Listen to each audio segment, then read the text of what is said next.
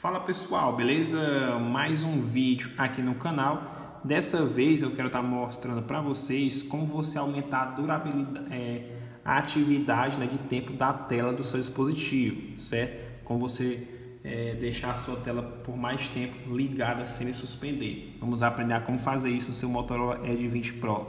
Você vai abrir aqui as configurações do seu aparelho. Chegando aqui, você vai simplesmente vir aqui procurar a opção tela, que no caso está aqui, ó, tela, você clica. Agora você vem em avançado e aí você procura a opção tempo de limite da tela, que no caso está aqui, ó. Você dá um clique e aqui você aumenta, né, ou diminui é, o tempo de limite da tela que ela fica ligada, certo? Aí você pode colocar 10 minutos, caso você não queira que ela suspenda, caso esteja dito alguma coisa, né, escrevendo algum texto, quer que ela fique ali ligada direto, né, você pode estar colocando aqui 10 minutos ou meia hora, né? Que é o máximo. Ou você pode colocar por menos tempo, né? 30 segundos, enfim, você pode estar aí é, alternando conforme o seu gosto, beleza? Mas é aqui que você consegue estar aumentando aí ou diminuindo o limite de tempo que a tela fica ligada, certo? É isso, até o próximo vídeo. Tchau, tchau!